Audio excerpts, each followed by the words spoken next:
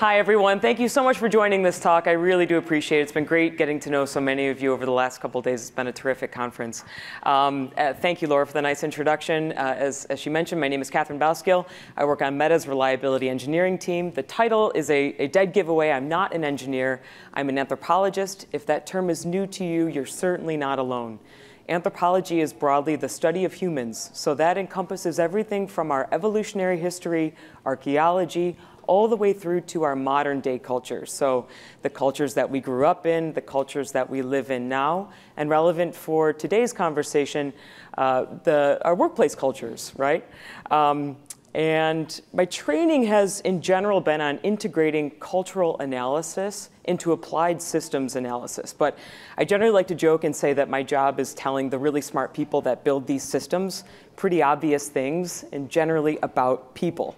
So in today's talk, I'm going to tell you some of the things that we've learned about people as Meta set out to make reliability a first-class value. So I'll tell you a little bit about what that journey has entailed and hopefully leave you with some actionable next steps so that you can ensure that your cultural scorecard is getting as much attention as your technological one. I'd like to start, though, by just taking us back to 2014 when then Facebook lived by the motto, move fast and break things. And we did break some things in the name of innovation and speed. And some tech debt aside, we wouldn't have wanted to have changed that, right? But we had to make this fundamental transition to move fast with stable infrastructure, right? It's definitely not as catchy, but it had become totally necessary given our growing scale and our foothold around the world. But since then, we've also sort of grappled with how to optimize for the right speed. And what does it mean to have a stable infrastructure really, right? Like, how do we know? Reliability issues will always arise. So how do we learn to strike the right balance between speed and stability? And importantly, how do we keep the best parts of our move fast and break things culture, those vestiges that are still so much in our company's DNA, and ensure that our engineers are not bogged down by process and protocol? I like to think of this metaphor of a train that's moving too fast around a bend and can derail. But contrary to intuition, it's also possible for a train that's moving too slowly around a bend to derail. So the moral of that story is if we only optimize for speed, we run the risk of overlooking consequential vulnerabilities that could cause a major outage, right? So if we, at the same time though, if we make every process airtight, we wind up stifling ourselves and hindering innovation. So when we're thinking about these kind of somewhat subjective trade-offs, people, and therefore culture, are always going to be involved. Whether it's how much we reward reliability, what our underlying risk tolerance is, and how easy or hard it is, and we make it to do that work. And so two years ago, reliability engineering leaders at Meta had this great vision to see our culture as a fundamental aspect, not an afterthought, of this shift towards creating a more reliable infrastructure and they enlisted me to help out with this, driving this culture change and systematically tracking our progress towards it over time. So just a little bit of Anthro 101 in case this is, uh, this is new to you and you didn't take an anthropology class back in uh, your undergrad years. But anthropologists approach the process of understanding culture change through two lenses. There's an insider and an outsider perspective. And the real underlying question here is like, okay, who's driving this change? Is it top down or is it grassroots? The goal is to get these two perspectives at least in dialogue with one another. When they're diverging, it can at best introduce undue strain on people or at worst lead to some pretty tremendous failures. So when it comes to changing reliability culture, the outsider perspective might assume a reliability standard or dictate how reliability should be balanced against other competing priorities. But the insider perspective tells you how on the ground engineers describe what it means to them to engage in reliability work. What are their perceived trade offs in engaging in that work? And what sort of blocks or helps facilitate them along the way? So it's really about finding the delta, the points of convergence and divergence between these two two perspectives that really helps to at least start to drive alignment, call out the different interpretations and expectations that are there, and ultimately get you to arrive at a desired state where the two perspectives overlap and are able to work together. So I kept these factors in mind as I set out to do one of the most basic and one of the most powerful research methods, interviews. So simply going out and listening to what people have to say about reliability at Meta. Now, obviously, it's impossible to go out and talk to everyone, but there are strategies that you can employ to ensure that you're getting a representative sample that showcases differing viewpoints, not necessarily what you just want to hear or think you want to hear. In this case, that involved a fair amount of networking across the entire company to kind of importantly reach people that are not directly affiliated with reliability engineering, but still have a lot of power to go and break things. Um, and of course, uh, I wanted to include people in the sample who are directly affiliated with reliability engineering and are thinking about these things, are steeped in it day in and day out. Um, and I also wanted to make sure that we had representation across different levels of tenure and geographic locations, team areas of focus, ICs, managers, directors, all the way up. And alongside, I read as much as I possibly could about SRE. I watched several of your talks, so thank you for that. And I combed through industry standards on reliability. So in the end, I wound up speaking with over 40 people, often starting with a really simple question of what comes to mind when you think about reliability at Meta? In most cases, that alone ignited a really fruitful discussion on the complexities of defining reliability, the difficulties of doing it, the desire to do more of it, and the reasons that people felt like they were or were not able to adequately engage in reliability work. But there's a good reminder here, and that is that if there's any sort of explicit or implicit hierarchy between the person asking the questions and the respondent, maybe don't expect to get the full picture, right? People are less apt to go and share uh, something that might be difficult to hear to a higher up than, say, a researcher who has no bearing on anyone's career trajectory. Okay, so after conducting the interviews, I worked pretty closely with my team to apply categorical metadata. In research, we actually call these codes like definitions of reliability and barriers and facilitators, recognition received for doing the work, and even myths and misconceptions that people held about reliability. And we applied these, these codes, this metadata, to the thousand odd pages of interview data. So what you see here is the qualitative data analysis software, MaxQDA. All the qualitative data analysis software programs are out there. They're, they're um, they're all fairly um, uh, cost effective, uh, and, and, they all work pretty well. I'm happy to, to give any um, details on any of them. But this is just to give you a sense of what it looks like to apply that metadata on domains of interest to the interview transcripts. It's a way of making sense of the data and organizing it. And doing this systematically allows anybody to go back and trace the researcher's steps, uh, right? So don't just sort of take the researcher's word for it. You can see it right there and to quantify the presence of different themes that came up across the interviews or things that were maybe particularly salient to one particular group over another. So I wish that I could cover all the really rich insights from those 40 interviews today. Uh, maybe that's a talk for another day. But this quote from a software engineer on a product team covers a lot of what I learned when we started out in 2022. In fact, I think this was the first or the second interview. She said, I love reliability and I'm frustrated by doing it. It's not as recognized, it's difficult, it requires a lot of work, and the tooling is really bad. This is why I love working with engineers. You always know where you stand. It's pretty great. Um, but what we learned is that people see the impact of reliability as absolutely necessary the greater we scale and the more complex the risk landscape becomes. But they also called out this warning to not totally over pivot on reliability to the point that we are inflexible to innovate. And importantly, too, we learned that it was also absolutely imperative to flesh out how to describe, measure, and then reward the impact of reliability work, and how to equip teams with easier to use tools to be able to do that work. All right, so rich data aside, interviews are also pretty labor intensive, uh, and they don't necessarily lend themselves to repli replicable metrics. What you can get, though, are the things that are really salient to the engineers on the ground, and again, sort of getting at those points of divergence.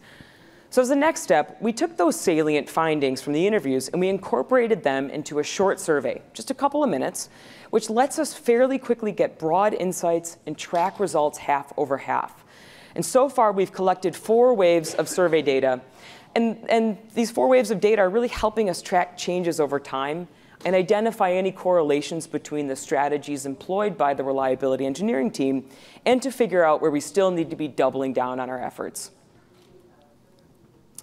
I'll present just a few of the survey findings from one of the waves here. So 78% of respondents say that their teams value reliability work, right? It's kind of hard to argue with the overall value of reliability. But here's the rub most still agree that we should be doing more of it. And about half noted that it's really hard to find which reliability gaps to address. And from a list of barriers, respondents noted that competing priorities, dependencies and complexity of our underlying system, and difficulty measuring reliability were really top barriers to doing reliability-related work.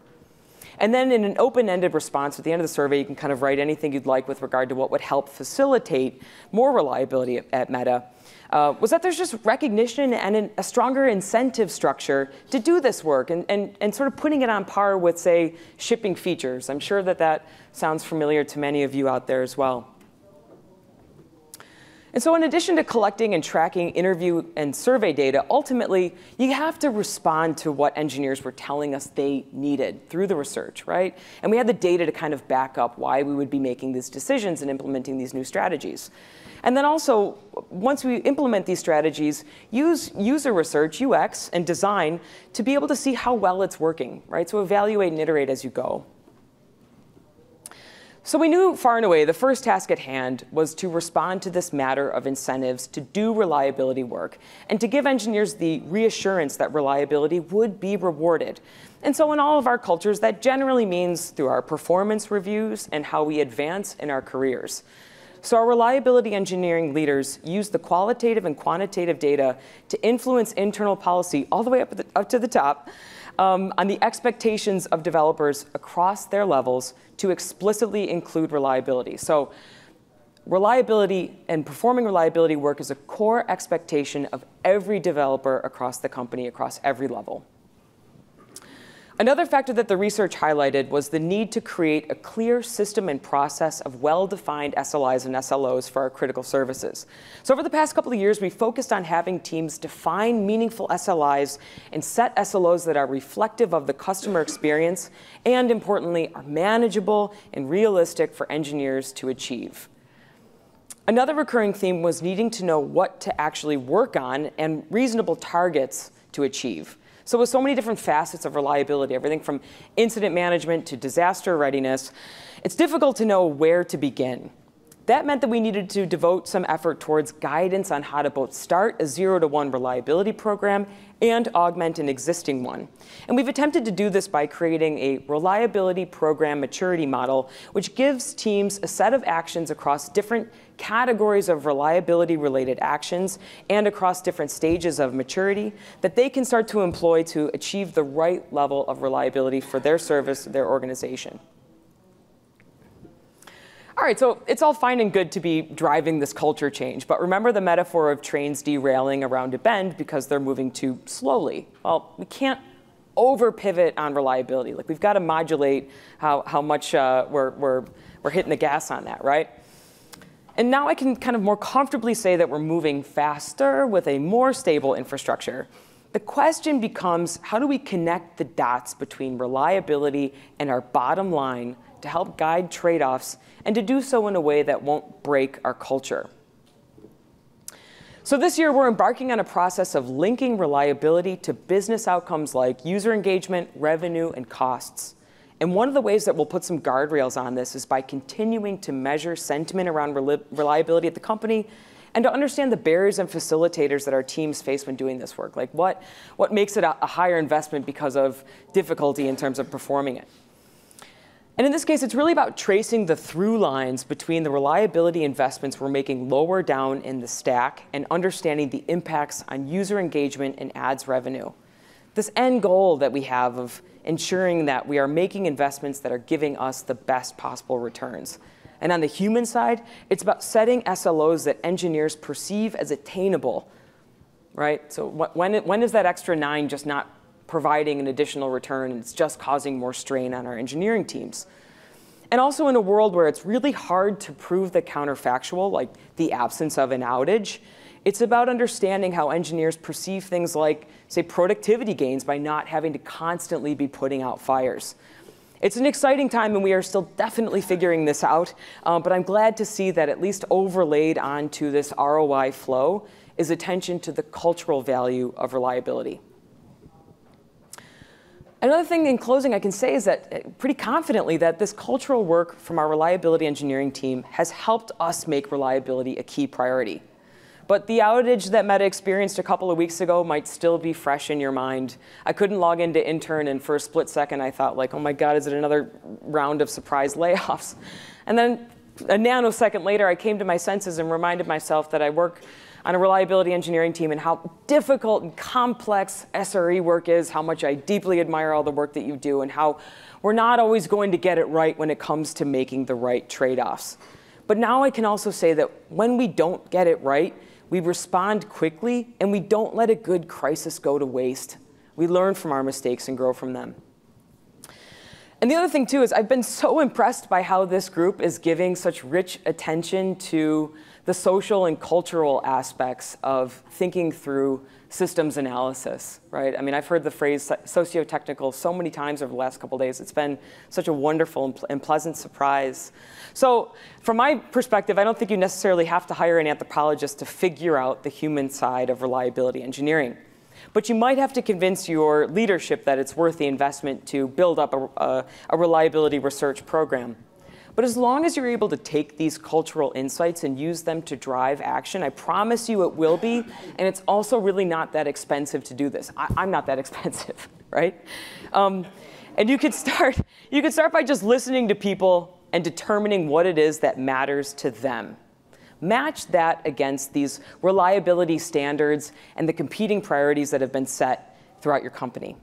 Then incorporate those insights that you gathered from those conversations and put them into a lightweight, under five minute survey so that you can get a regular pulse on how people feel about reliability work and what they need to be able to do that work uh, more easily and more effectively and efficiently. Then use that data in conjunction with risk analyses to respond with actions that make the most sense at that particular time. And finally, use culture to help contextualize as you optimize for the right trade-offs. And as you continue to evolve your reliability programs, I, I hope that you'll see culture and, and, again, just this basic sense of gaining an understanding of what it is that motivates people, like we have, as a really powerful tool that you can leverage to help make data decision trade-offs. And like I said, in a lot of ways, we're just getting started. And like reliability engineering, the work of being in tune with your internal culture is never complete. Ultimately, please remember that reliability, eh, I'm sorry, that culture is the most versatile tool that we've got, and it just might be the catalyst to help us evolve to an ever-evolving set of complex reliability risks. Thanks very much for this opportunity, and please don't hesitate to reach out if I can help you set up your own reliability research programs.